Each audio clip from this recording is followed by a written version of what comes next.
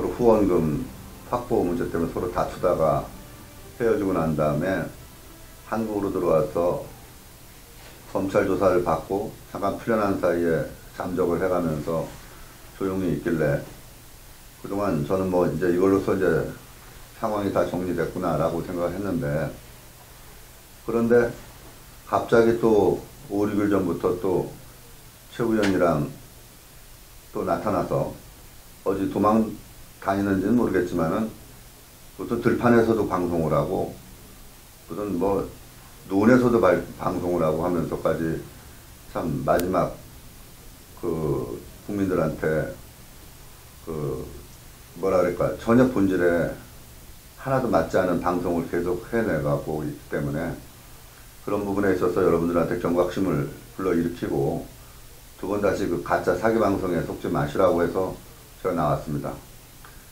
과거에 여러분들 제가 그 정충제 관련해서 여러 가지의 문제점을 지적을 했고 그런 거에 속지 마시라고 해서 상당히 많은 분들이 제 말씀을 믿고 정충재라든가 김일선이 최 의원님한테 힘을 많이 보태주지 않은 거에 대해서 대단히 감사하게 생각합니다.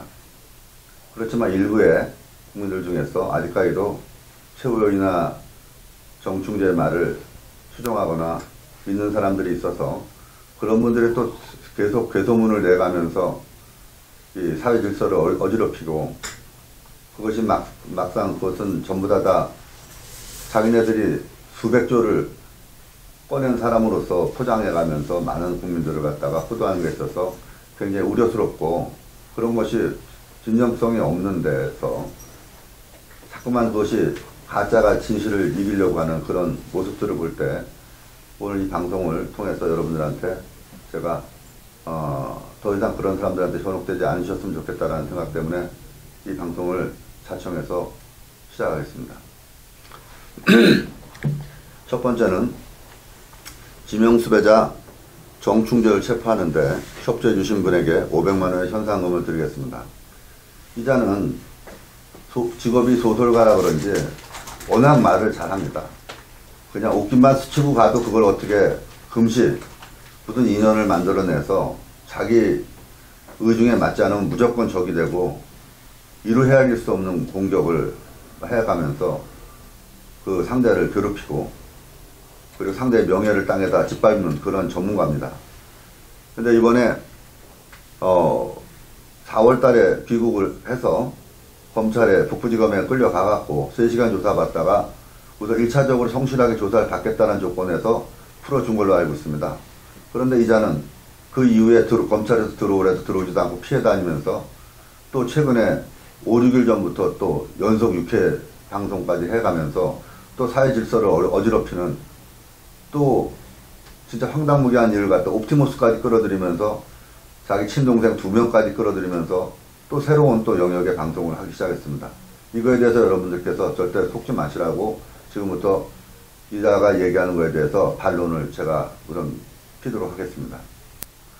우선은 정충재는 서울 북부지검에서 어, 정보통신법 위반 혐의로서 어, 기소 중지를 시킨 자로서 저는 이 자를 갖다가 경찰에 소재지를 알려주거나 이런, 이런 어, 공로를 세우신 분한테 현상금 500만 원을 드리도록 할 테니까 많은 관심을 가져주시면 고맙겠습니다.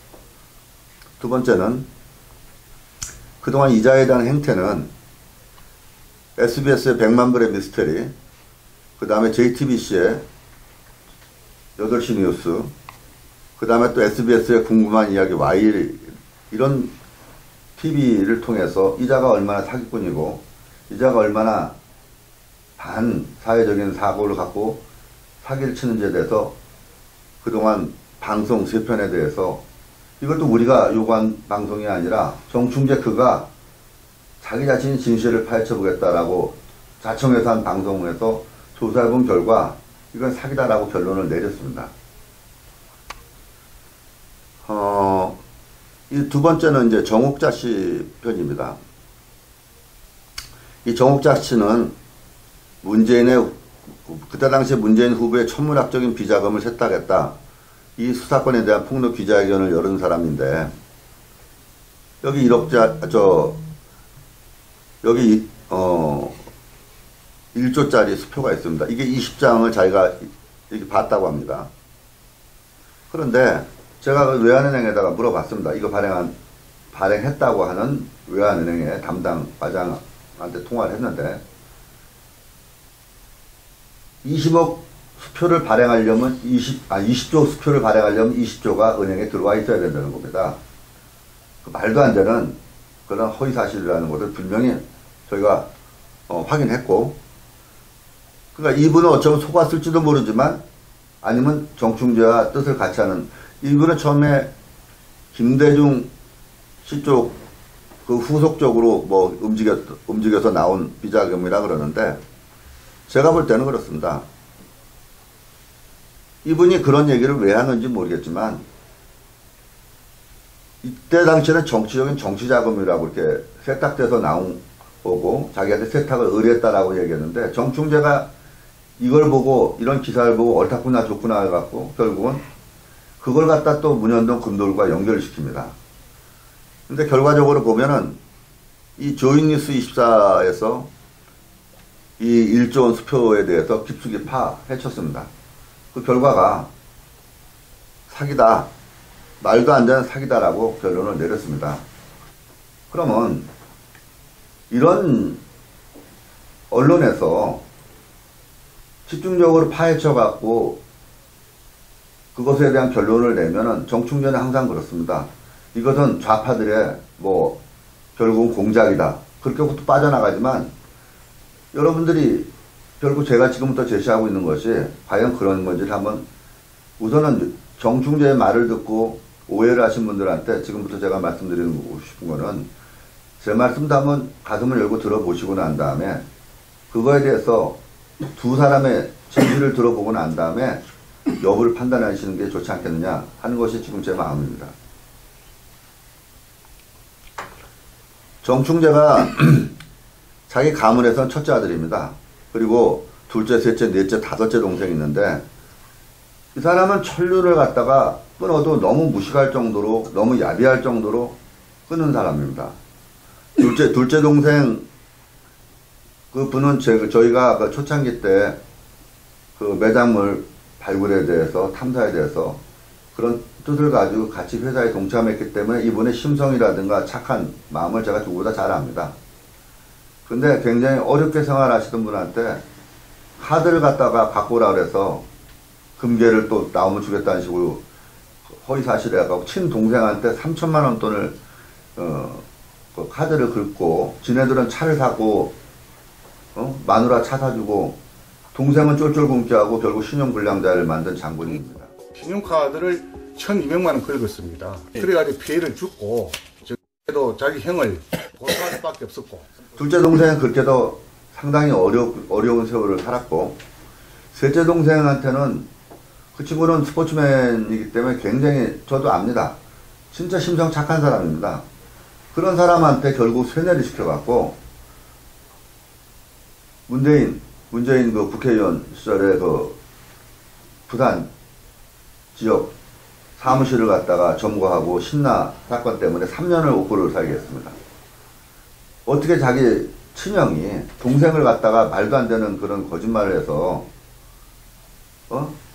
자기는 정작 그럴 용기도 없으면서 셋째 동생한테 그런 식으로 어? 세뇌를 시켜갖고 옥살이를 하게 만든 장본인입니다. 새해를 이틀 앞둔 날이었습니다.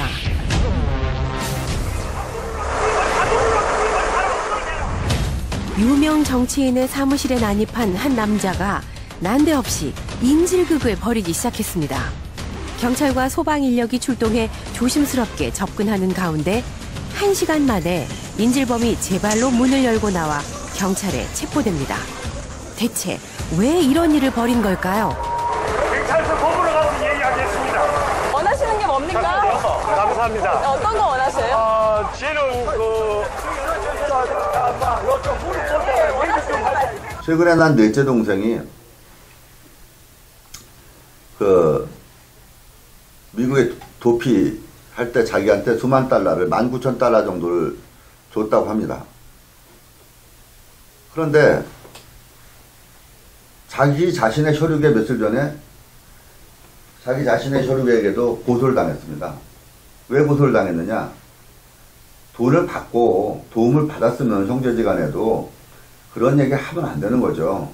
결국은 자기 둘째, 지금 돈을 줬던 이 동생을 결국 까발려 갖고 결과적으로 보면은 그 동생의 사회적인 명예를 실추시키는데 큰형이라는 작자가 그렇게 앞장을 쓴 겁니다. 그리고 음, 다섯째 동생은 저도 이분에 대해서는 전혀 정보가 없었는데 정충재 자기 자신이 한 소리입니다.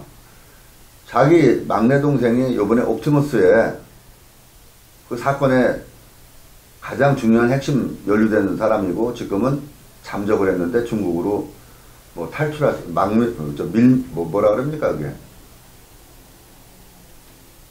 그냥 한국에서 몰래 빠져나가는 거 어, 그렇죠 밀, 밀한. 미, 미랑 뭐, 네. 밀항을 준비를 하든 밀항을 했을지 모른다라는 요새 저기 있는데 정충전의 옵티모스가 저와 연관이 있고 또 옵티모스 때문에 어 자기 동생이 또 서로 나랑 뭐 친했고 이런 식으로 또 소설을 써냅니다. 옵티머스 사건의 핵심 정영재는 정충재 선생님의 막내 동생입니다. 참으로 기가 막힌 이러한 집안의 스토리죠. 백준음이, 문재인이 이런 것들이 문현동 금도굴 사건을 숨기기 위해서 정충재 선생님의 막내 동생을 인질 삼아 끌어 집어넣고 문현동 금독을 자금의 핵심 자금책을 시켜왔던 것. 이것, 이 사실 정충재 선생님도 어제 오늘, 어제 오늘 알게 된 사실입니다. 그 말이 됩니까? 나는 저 다섯 번째 동생에 대해서 일 면식도 없고 또 그리고 서로 전화 한 통도 없는 사이인데 그냥 거기다 연관을 시키는 겁니다. 옵티머스의 그 비자금이라든가 이런 것들 이런 것들이 다 또 금 내가 금도구로 한 걸로 팔아서 저기다 지원해 준 거라는 식으로 말이죠. 저 자회사에다가 자기 친동생 네명을 망하게 하고 그리고 명예를 갖다가 있는 분들은 명예를 땅에 완전히 떨어뜨리고 국민들한테 셋째 동생과 다섯째 동생은 빨갱이다. 이게 말이 됩니까? 안녕하세요. 에, 저, 지난, 아, 며칠 전에, 에, 3일 동안에 다섯 편을 찍었습니다. 아, 정인재라고, 어, 아들 다섯 중에서 셋째가 있는데, 얘가, 아, 저하고 아홉 살 차이입니다. 정상적인 가족의 구성원이라면은 절대로 큰형이 동생들에 대한 그그 허물을 덮어주거나 다독거릴 생각을 안 하고 국민한테 대고 내 동생 셋째 다섯째는 빨갱이다. 나는 도대체 그 사람의 정신 상태가 어디 와 있는지 모르겠습니다. 참 그런 사람들은 어떻게 상대를 해야 되는지도 모르겠고요. 이건 완전히 천륜을 저버린 행동 아닙니까?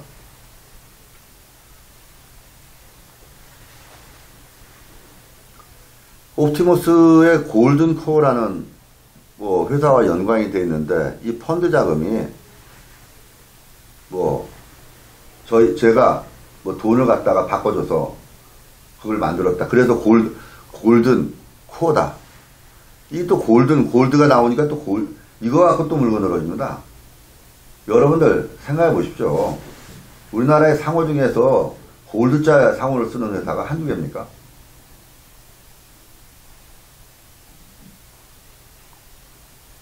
자, 다시 되돌아가서 2002년도 6월 13일 날 저희가 고소한 거에 대해서 2005년 9월 15일 날 긴급 체포 구속이 됐는데요. 이 고- 소장을 보면은 자기 자신이 상대들한테 이 사기 행위를 하기 위해서 얼마나 많은 나쁜 짓을 저지른 거에 대한 판결문이 다 나와 있습니다. 그 중에서 여기 보시면 박인규, 그 다음에 정관재, 김종점, 자기 친동생과 자기 지인과 박인규도 친구고 김종점도 친구입니다. 재판장에 나와서 허위 사실에 대해서 결국은 부른 겁니다. 여기 보시면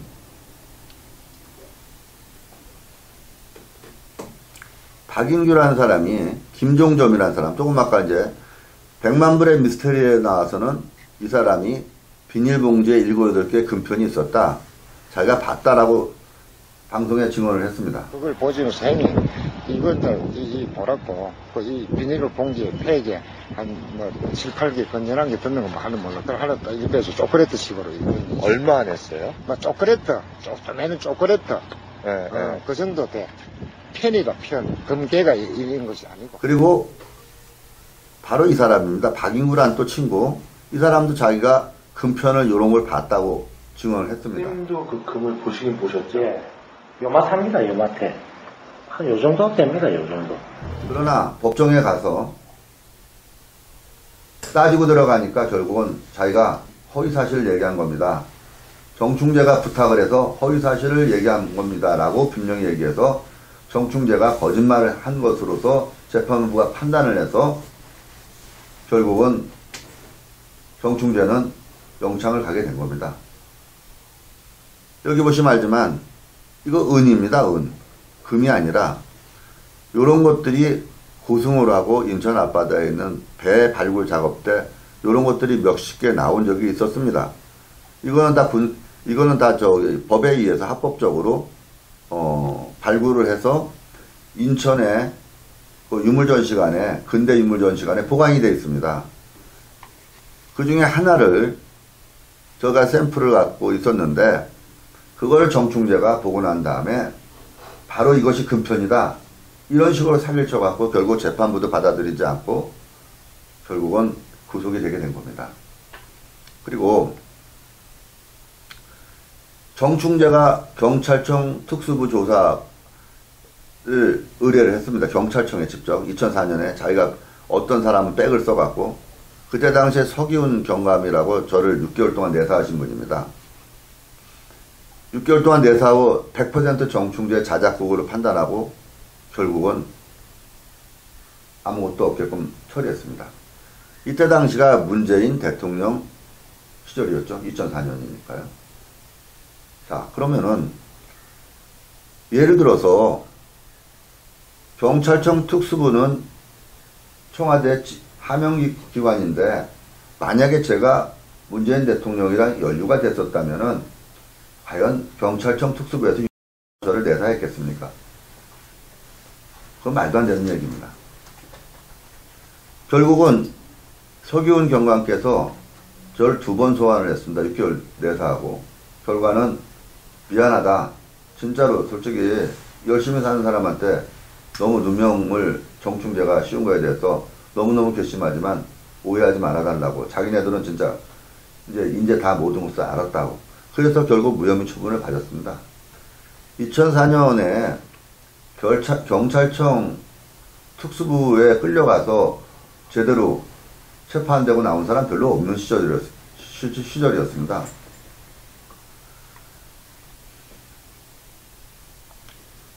여기 보시면 SBS 궁금한 이야기 Y에 보면은 2016년 1월 8일 날 방송을 했습니다.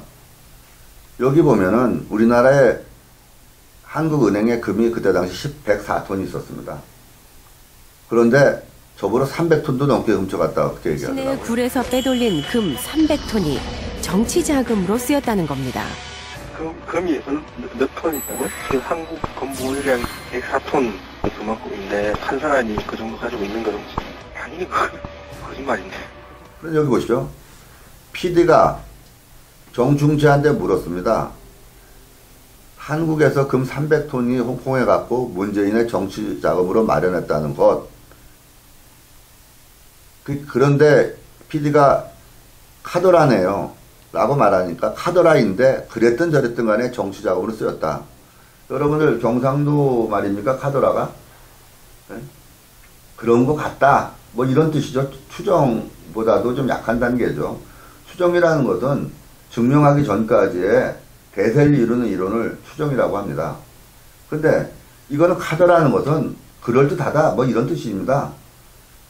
이런 식으로 자기가 방송 인터뷰에서도 앞뒤고 안 맞고 전후좌우도 안 맞는 그런 행위를 하면서 결국은 우매한 국민들한테 결국은 찬조금, 후원금 사기치려고 이런 짓을 만들, 이 사람이 소설가니까 뭔 얘기든 다 만들어낼 수 있는 능력을 갖고 있는 사람입니다. 보십시오. 이거는 SBS 궁금한 이야기 Y에서 여기 자막 다 나와 있지 않습니까? 카더라네요.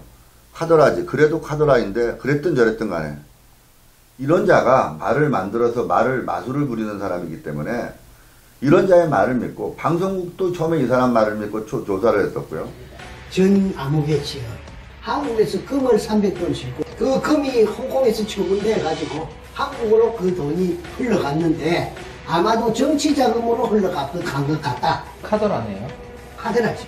아, 카드라지. 그래서 카드라인데 그랬든 저랬든 간에 그 취재한 결론이 이겁니다. 이 사람은 정말 신뢰가 안 가고 믿을 수가 없는 사람이다라고 다 결론을 내린 겁니다. 여기도 보시면 알지만 하도 이 사람이 여기저기에서 굴착기로 파대고 이러다 보니까 영창도 갔다 오고 사기꾼으로 다 소문이 났으니까 더 이상은 이제 허가가 남구청에서 부산 남구청에서 허가를 안 내주니까 결국은 아 이 작전으로는 안 되겠다. 6월 6월 8일에 해야겠다. 그래서 진해에 그때 당시에 노역 가셨던 분에 대한 그 리스트를 갖다가 일제가 작성한 리스트 일부를 했다가 천구의 유골이 거기에 정충제가 허위로 뚫은 그 굴에 천구의 유골이 원한을 갖고 지금 수장돼 있다. 그걸 백준호미가 유골을 갖다가 지금 도굴에 갈지도 모르니까 당장 파야 된다. 이런 식으로 명문을 앞세워서 일제 그 진상조사위원회 그 팀들이랑 만나갖고 굿까지 했습니다. 진혼제까지 지내가면서 또 쇼를 한 거죠. 이런 유족회 분들이 저자한테 속아갖고 이렇게 하면서 이제나 저제나 그 안에 자기 조상들이 차릿한 그 물 속에서 있는 거에 대한 가슴 아픔으로 어? 그런 그 그분들의 마음을 진짜 헤아렸다면 이런 짓 하면 절대로 안 되는 거 아닙니까? 결국은 이 사람 시추했지만 실패했습니다. 그런데 문현동 주민들은 우리에게 새로운 이야기를 해줍니다. 20일 전까지 작업했어. 20일 전이요? 아, 무슨 작업을 했어요? 굴착 작업이요. 뭐땅 파고 뭐 굴착기 가지고 땅 파가지고 밀어가고 이래서 주민들이 지금 비 울린다 못 파고 그래가 갔다 와요. 그 파는 작업이 금 찾는다는 작업이에요? 작년까지는 금판 든다고 했는데 네. 금년에는 그 금판 딱 하니 못하고 그래나니 6월 발굴 이래가지고 요요 편하니요 한발 제안하지요. 일제 강제징용 희생자들의 유골이 이곳에 매장됐다는 주장이 나왔다는 겁니다. 이 말이 사실일까요? 문현동에 희생자 유골이 매장됐다고 주장한 사람은 누굴까요? 숨겨놓는 저장고를 만들었다가 조선인들을 몰살해서 거기 같이 묻었다 이런 취지로 조사 요청을 한 거죠. 없다고 해서 기각을 했고 형 정만금 씨가 정부 측에 발굴 요구를 했다가 신빙성이 없어 거절당했답니다. 그러자 일제 희생자 유족들을 접촉했는데요. 세 번에 걸쳐서 그 지역에서 우리가 시추를 해봤어요. 했는데 그 밑에 이제 공간을 우리가 못 찾았어요. 작년 가을 시추 작업을 벌였지만 지하에 굴이 있다는 아무 흔적도 찾을 수 없었다는 겁니다. 그런데 당시 굴삭기를 직접 끌고 온 이가 정 씨의 동생이자 이번 인질극을 벌인 정천금 씨였습니다. 그 유적회 그 유령제 짓는다고 그래가 거기 문현동 거기 가가지고서는 자기가 굴삭기 해가지고 길을 닦고 뭐 한다고 하더라고요. 여기 보면 이 사람은 이제 심리 전문가입니다. 경찰청에 관련된 심리 전문가 모양인데 이거는 자기가 자기 머리를 쇠뇌시켜서 하는 그런 치료 치졸한 삼류 이야기다. 이런 얘기입니다 결국은. 여기 보시면은 정충재는 부산 남구 광역시 부산 광역시 남구청장한테 이 승인서를 받은 거 내용을 보면은 한 평 1.5m 곱하기 1.8m 이게 2.7제곱미터인데 이게 한 평 아닙니까? 이게 한 평을 허가를 받았으면은 한 평만 수직으로 뚫고 들어가서 없으면 수직으로 나와야 되는 겁니다. 그리고 메꿔야 되는 겁니다. 이때 당시에는 정충재가 발굴자가 아니라 바로 박수웅 씨라고 박정희 대통령 이발사였던 분이 발굴자였습니다. 그런데 그 이 자체가 남의 땅을 갖다 수직으로 해서 남의 땅을 몰래 파고 들어갔으면 10년 동안 그 자체가 불법입니다. 그런 것을 음습하게 10년 동안 남의 땅을 어? 파고 들어가서 범죄를 저지른 거죠. 불법이죠. 자, 여기 보십시오. 이게 박수웅과 정충재가 결탁을 해갖고 이 땅 문현동 1219-5번지를 시추를 하고 들어갑니다. 없으면 그냥 나오면 됩니다. 그리고 메꿔야죠. 그런데 이 사람들 10년 동안 약 5, 60m 이상을 이렇게 파고 들어갔습니다. 남의 땅을. 여기는, 여기, 여기는 남의 땅입니다. 근데 박수근과 정충재가 10년 동안 이틀 하는 동안에 결국은 서로한테 환멸을 겪고 서로한테 완전히 뭐 인간 이하의 서로의 얘기가 오고 가는 그런 과정에서 정충재가 결국은 털고 나옵니다. 근데 이 시추구와 이 시추구의 거리는 25m입니다. 25m. 여기와 여기의 거리가 대략. 그런데 정충재는 10년 동안 이 여기를 파고 들어갔는데 이 굴이 몇 메다 깊이의 굴이 존재하는지 얼마나 파고 들어갔는지 어느 방향으로 파고 들어갔는지 그걸 모르면 말이 됩니까? 10년을 파고 들어갔는데 그런데 이 친구는 그러니까 배재대학교 손홍 지질학과 탐사 교수를 불러다가 여기를 탐사를 시킵니다. 바로 이 부분을. 그러니까 당연히 이 지하에 굴이 있는 게 나오겠죠. 이 지하에 있는 굴이 나오는데 이제부터 이렇게 보시면 됩니다. 자, 처음에는 박수훈과 정충재가 아무것도 없는 이 땅에서 여기서 파갖고 이렇게 들어갑니다. 그러다가 서로가 찢어집니다. 그러니까 정충재가 이 부분의 지질 탐사가를 불러서 지가 사기, 사기 사건에 대해서 발뺌을 하기 위해서 전략을 짠 거겠죠. 여기 이 부분에 뭔가 동굴이 나오니까 여기를 시추한 한 겁니다. 이 부분을. 그러니까 당연히 이 부분에 동굴이 마창이 난 거겠죠. 그래서 이 부분으로 카메라를 내렸더니 이런 인공으로 만든 마대 자루가 수천 개가 쌓여 있는 겁니다. 저는 이때 당시에 이 수직으로 카메라를 내렸을 때 이런 장면이 있는 걸 보고 아, 이게 과거 역사가, 잊혀진 역사가 사실이구나. 이래서 탐사를 도와주기 위해서 일을 시작했던 겁니다. 그런데 정충재 사기에 의해서 잠수를 들여보내고 난 다음에 보니까 한주 소금 마대가 끝도 없이 쌓였습니다. 저는 일제시대 때 한주 소금이 있었는 줄 알았습니다. 처음에. 그런데 알고 봤더니 처음에 박수웅 씨가 정충재랑 같이 동업을 하면서 뚫었던 이 굴에 계속 지네들 목적물이 안 나오니까 여기만 뚫고 여기만 끝나고 올라오기로 행정기관과 약속을 했는데 계속 끊임없이 하고 들어가니까 이 안에 뻐럭이라고 합니다. 돌, 돌 파괴된 거, 돌을 갖다 깬 거, 그런 것들을 갖다가 바깥으로 꺼내면 걸릴까봐 결국은 한주 소금 마대에다 돌을 담아서 차곡차곡 옆에다 쌓아놓은 겁니다. 몇 천 개가 쌓여 있습니다. 지금 들어가도 당장 알 수도 있습니다.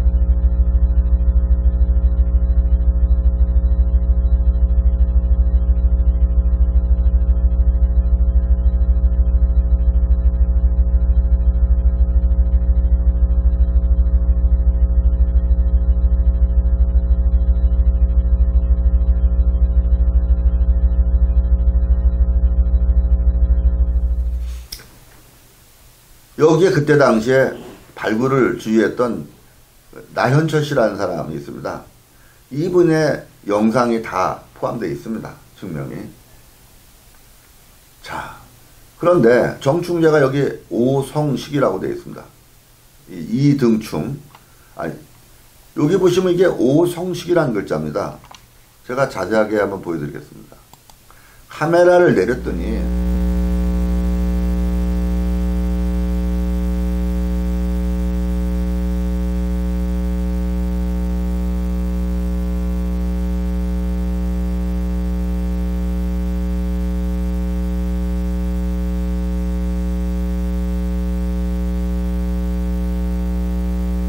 여기 이응에다가 오자 아닙니까? 이거 이응에다가 시우자에다가 성- 오성자 아닙니까? 요거 식자 아닙니까? 카메라를 내렸더니 오성식인데 정충재는 이걸 가지고 지가 그- 금이라고 이렇게 그림도 그럴듯하게 그려갖고 이등충 일본의 대기업 이토쭈라는 뜻입니다. 그 이토쭈라는 그 기업의 글자다 이거 이게 오성식인데 그는 이등충으로 있더라고요. 이때부터 그는 사기가 노출되고 들통날까봐 결국은 금괴도 이렇게 있었다 노랗게 그려갖고 이런 식으로 해서 이것도 그가 만든 자기 겁니다. 저 갖고 있는 게 마다를 포대로 다시 재포장이 돼갖고 그 끝에 이동충이라는 검은 활자가 찍혀갖고 있어. 도장끝이 쫓기가 물이 너무나 맑았기 때문에. 그곳은 일제시대 폭탄을 제조하던 어뢰 공장. 그러나 발굴 당시 그곳은 물바다였다. 하는 수 없이 그는 무인 카메라를 동원했고 금과 보물로 채워진 듯한 오래된 자루를 발견했다고 한다. 그가 만든 건데 이게 다 금괴랍니다 이게. 근데 금괴가 이렇게 삐쭉삐쭉합니까 여러분? 그리고 금괴가 1톤이면 가로 세로 높이 순도 99.9%가 37.3cm입니다.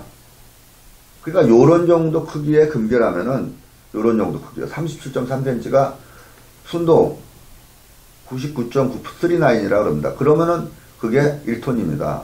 그러면 이 마대에 99.9%짜리 금을 집어넣는다면 제 생각에는 1톤 이상 안 들어가겠습니까? 편으로 만들어 집어넣으면 차곡차곡. 그러면 뭔 재주로 1톤이나 되는 무게를 마대에 집어넣고 옮길 수가 있겠습니까? 대부분이 금괴는 두꺼운 저 박스, 나무 박스에다가 아주 충격에도 견디기 좋고 그 다음에 들기도 아주 용이한 두꺼운 나무 박스에다가 금괴를 이렇게 쌉니다.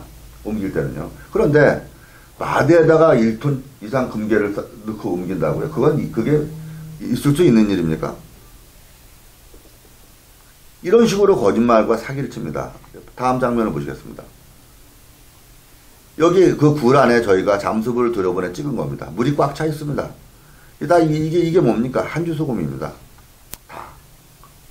이런 식으로 한주 소금이 끝도 없이 수천 개가 쌓여 있습니다. 근데 이게 다 금괴라는 겁니다. 무슨 금괴를 갖다가 한주 소금 비닐마대에다가 넣고 이런 짓을 저지를 수 있습니까? 이게 바로 박송 씨인데